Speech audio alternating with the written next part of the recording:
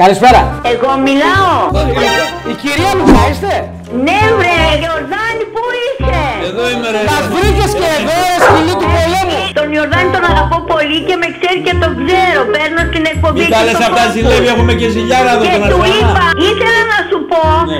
ότι με έχουν ξεμπλοκάρει από το Focus. Α, ωραία.